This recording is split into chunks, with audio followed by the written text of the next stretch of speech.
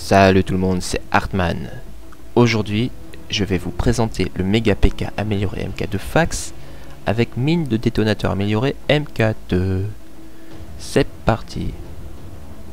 Alors, on va l'arme primaire, Mega PK, normal. Mega PK avec la munition.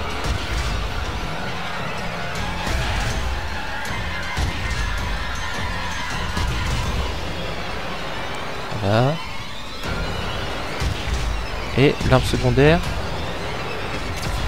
Alors, c'est assez marrant parce que je ne sais pas si c'est un bug ou si c'est prévu comme ça.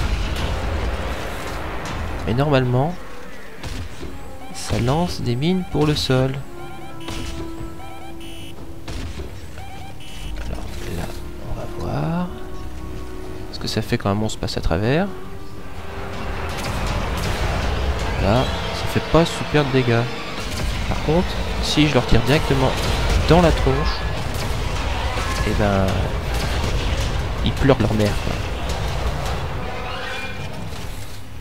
Parce que c'est super efficace? Il suffit de leur tirer dans le bide et... Et ils explosent dans tous les... Ils explosent. Voilà.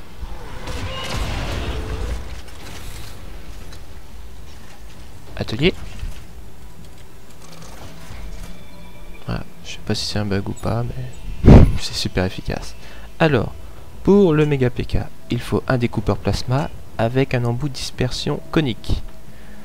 Pour le mine de détonateur, il faut un géomètre avec un embout propulsion orienté. L'armature des fax augmente les dégâts. Le garde-fou protège des explosions.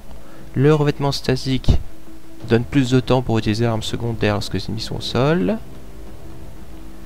En circuit d'amélioration, pour le méga PK, j'ai augmenté deux fois la vitesse de recharge et deux fois le nombre de munitions. Et pour les quatre, j'ai amélioré la cadence de tir.